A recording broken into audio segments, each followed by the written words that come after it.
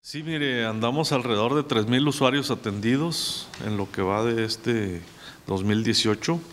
y las principales causas pues son por cargos no reconocidos, personas que han sido defraudadas en sus cuentas bancarias por algunas personas que se dedican a esto y que desgraciadamente pues les han aparecido cargos no reconocidos en sus tarjetas de crédito o, o de débito.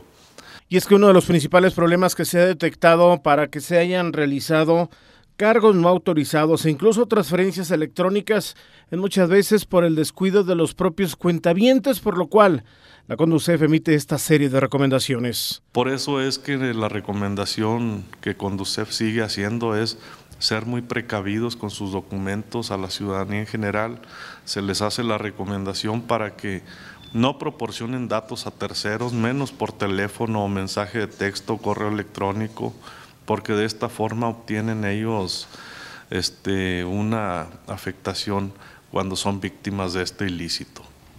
El funcionario federal insistió en la necesidad de que finalmente los usuarios de la banca tengan mucho cuidado con su información personal para evitar precisamente que terceros se aprovechen de la misma y logren finalmente apoderarse de un dinero que no les corresponde.